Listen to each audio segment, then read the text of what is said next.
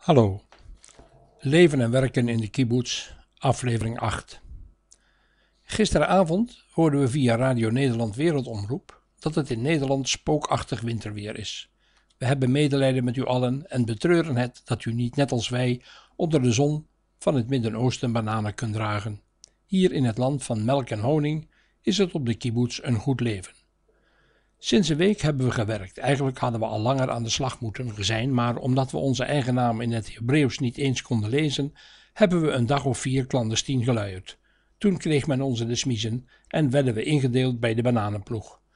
Ochtends om zes uur ratelt nu de wekker en komen we mopperend uit bed, maar de warme morgenzon en het gezang van de vogels verjagen schielijk de opkomende ochtendziekte. Hongerig storten we ons dan in de eetzaal op een boordevol bord pap, slikken wat brood door de keel en gaan dan om kwart over zeven met de wagen en de trekker naar de plantages die een kilometer of drie verder tegen de heuvels liggen. 22 hectare bananen liggen hier en geven momenteel rijke trossen die groen worden afgesneden en daarna in een paardendeken worden gewikkeld om dan naar een schip in Haifa te gaan.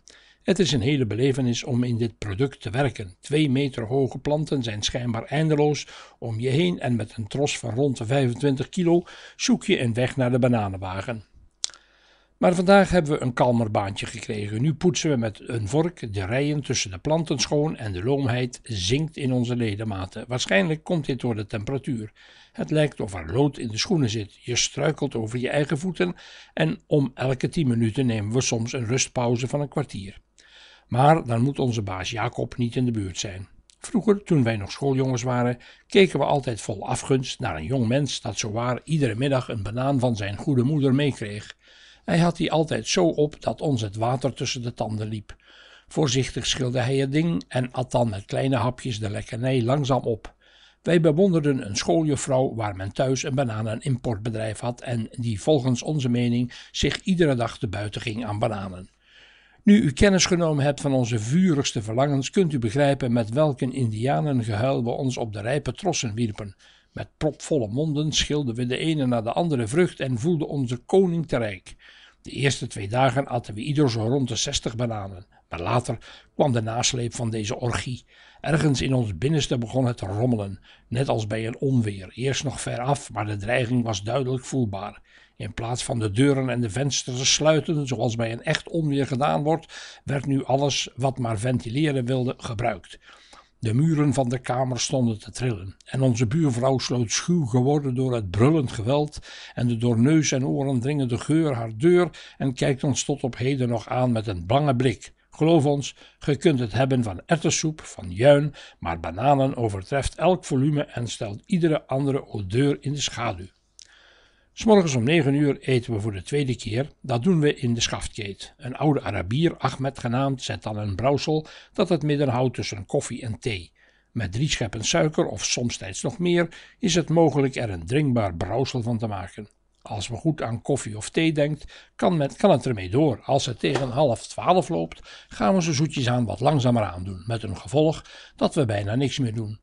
Want om kwart voor twaalf gaan we terug naar de schaftkeet om dan tegen twaalfen in de eetzaal te zijn.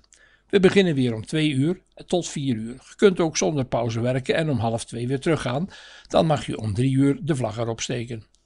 Als we dan bezweet en moe gepraat weer terugkomen, gaan we eerst een paar bekers warme melk drinken en een sneetje brood en met een stuk of wat sinaasappels achterop. Dan smijten we het proleten goed weg en nemen een miklachat, een douche harken onze haren toonbaar en gaan wat lezen in de kamer waar Tony en ik alleen wonen.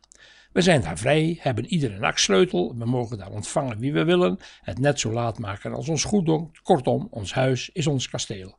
En om half zeven gaan we het Nederlands nieuws bij vriend Slomo beluisteren en om zeven uur gaan we eten. En daarna gaan we koffie drinken, dan weer bij die en dan weer bij een ander. Vaak drink je gezamenlijk koffie met een twintigtal jongelui. We zitten dikwijls op het terras van een woongebouw voor Joodse buitenlandse jongens en meisjes en hebben daarbij een prachtig zicht op Haifa, dat zich in ontelbare kleurrijke lichtjes tegen de berg Karmel omhoog trekt. De avonden zijn hier zacht en altijd gaat de wind liggen.